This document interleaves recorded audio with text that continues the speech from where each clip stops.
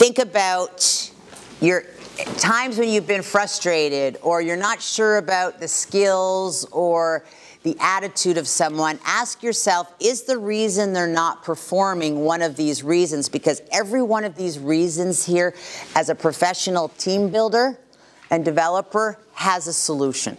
Might not be able to get into all the solutions today, but I think the key here is recognize if you've got someone you work with, you don't have to be the owner to do this, you don't have to be the manager. You got people you work with that you feel aren't performing. Ask yourself, not what can I do to fix you? Where is it they're coming from of why? Because the why is what engages people. The why is their batteries.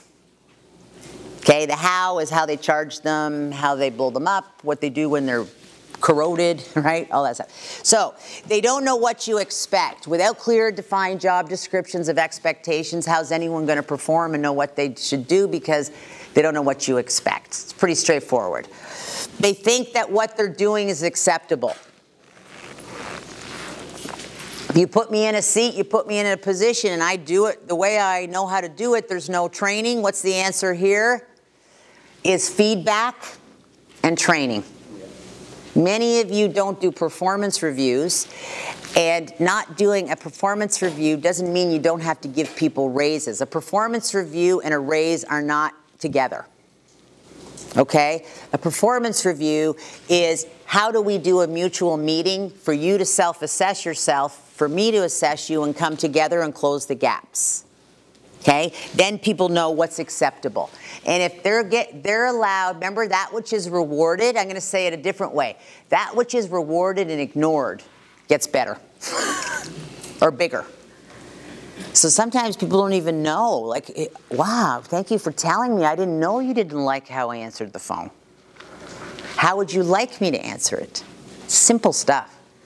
But we're so busy, right? In dentistry, we're busy, busy, busy. We're behind. We've got a clock. We've got people, all these different things. We've got instruments. We've got rooms. We've got all these th- different things to do. It's easy to look busy. It's not simple to look productive right? Okay.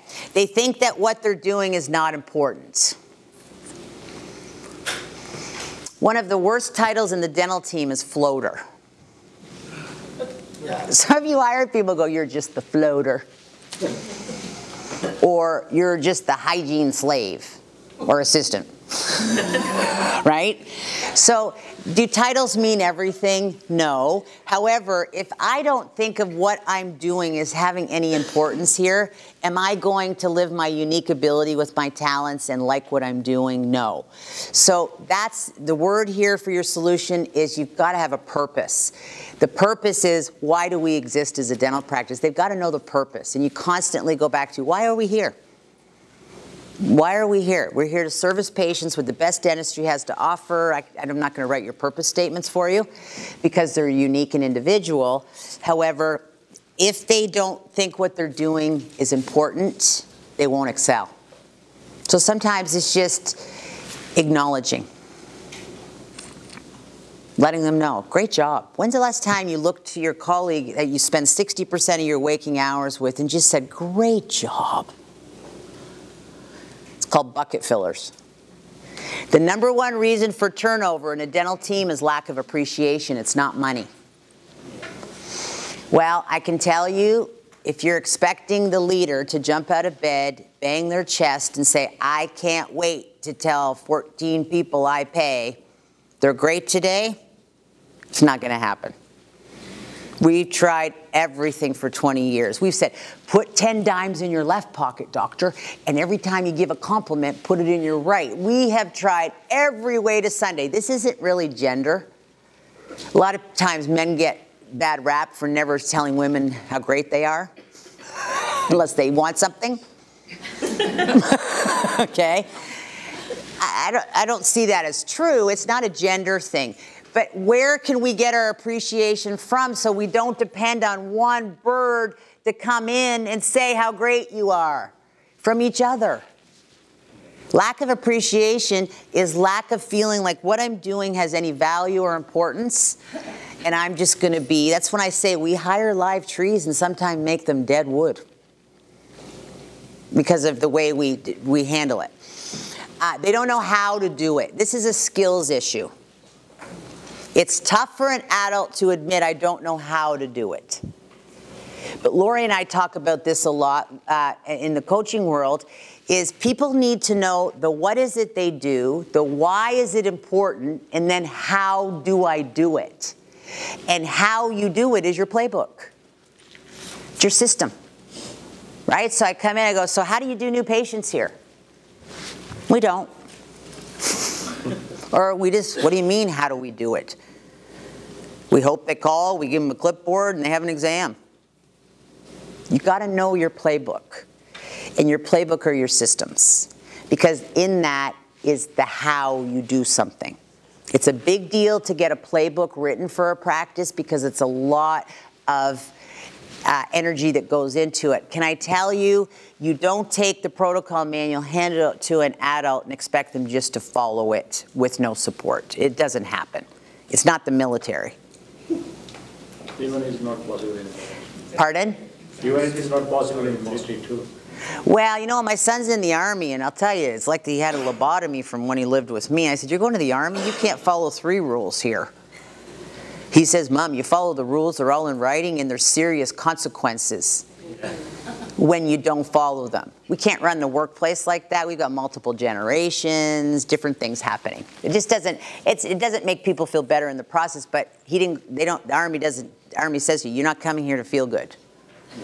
You're coming here to act responsibly with a code of ethics and honor of obey, listen, right? A lot of different things. That is, you know what, probably dental practices from my mature dentist back in the traditionalist days because they had employees that were traditionals that showed up with their clipboard and said, We're here to what?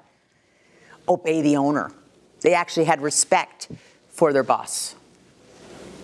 And they, they would do things without question right? That's your, your traditionalist born before 1945 for the most part.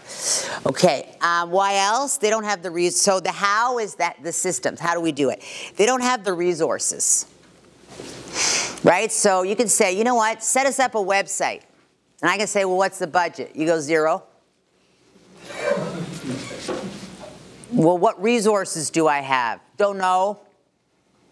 Okay, really want you to be better at block scheduling. Okay, well, here's how it's done. But what support am I going to have from the team to do block scheduling? None. Resources are just what are other things, right? So, in case presentation, we really want you to do a better job explaining the treatment to a patient. Well, what visuals and models do I have? None. Well, how can I do that to the best of my ability if I don't know I don't have the resources. So before you look at doing something, you got to say what is the what, the why, the how, and what resources do we need? Okay, a resource, we, we're a resource company, right? People look out to us and go, Do you have an article on the 10 moments of truth of a new patient? We sure do. Okay, that's a resource to bring into a how then the team works on why do we want to do it this way and what's in it for us. See how it all works? It takes time. It takes time and energy and a little bit of investment sometimes. Not everything has to cost all kinds of money. But it does cost. Time and energy is money in dentistry, especially when the dentist is doing things that other people can do. One of your biggest blocks in a dental practice is we want a dentist to do what? What only a dentist can do. And what is it only a dentist can do, gang, on a daily basis? Diagnose and treatment plan. And deliver the procedure. So if you think of, if you were to look at those are the three things only a dentist could do, look at what percentage of your day you're doing that. And if it's less than 80%, you're acting busy, but we're not productive. Okay, you want people to do what only they can do as their first primary uh, action, and then other stuff happens around it. Okay? Um, they're being prevented by others. What I mean by this is whether it's real or not real, anyone on your team or you that uses the word you before all of your statements is looking outward to blame other people for our lack of progress, and blame doesn't get us forward. Okay? They, being prevented by others could be these two ladies won't talk to me, I'm brand new here, you told me I have to learn from them. They, they're not, I, I have no time. I mean, you're going to hear all kinds of other things. I just want you to hear this. They're being prevented by others could be a blame mode because they're afraid to tell you they don't know how, or it could be real. Because when you take a team that's all the same, you bring a new person on board, if they're a lot different, it's called polarization. That's another block to progress on a team. Polarization is there's six people like this and there's one of me. Okay, I feel polarized, meaning individual. That's why you want to have a diversity of people you attract into the workplace that have different talents and different passions. Um, they're not suited for the job. Sometimes it just is what it is. They're just not suited. You know, I tell dental teams every day if you don't like people, could you give us all a break and call a career counselor and move to another stage of happiness? Why do I say that so directly? If you don't like people, this is not the profession for you. I'm telling you, we've worked with a lot of people in the dental team that go, I see dumb people everywhere. I hate people. They're so annoying. The patients are demanding. The team is so stupid. I say you might want to call a career counselor to facilitate you into a role you're better suited for with your talents and your passion because if you don't love people, you don't even like them, dentistry will wear you out. Would you agree? Yeah.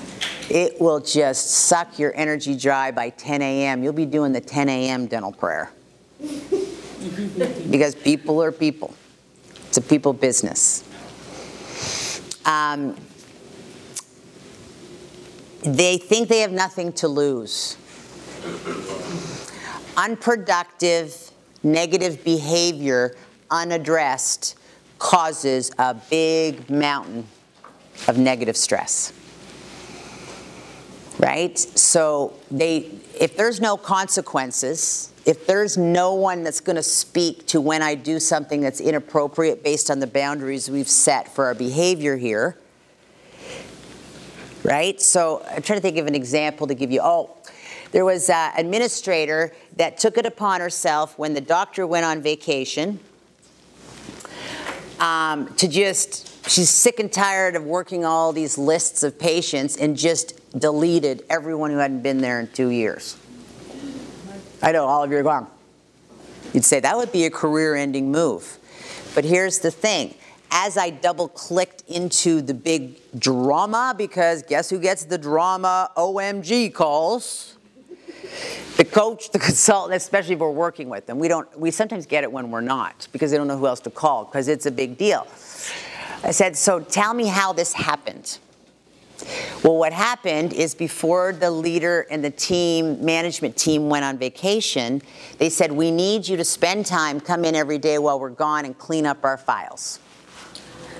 Okay. Great. You know what? There's someone that might say, Let's put Windex on them. There's 500 words that have multiple meanings. So that as a person delegating and directing others, you need to be specific and they need to feed back to you what you meant by that. Otherwise, you're going to have a gap of misunderstanding. She was devastated. She went, What's the big deal? We've got all our patients in the last two years. We've got a clean dentrix system. Like we're rocking and rolling. We got 2,158. We're real happy. What's the problem? Well, you deleted them. Means gone forever. And there's laws that we have to keep that for seven years. Like you can just imagine by your facial expressions. She had no idea. I said, How could she have known if all you do is wrote a post it note that says, While we're gone, please come in and clean up the files? So it goes what? Sometimes both ways.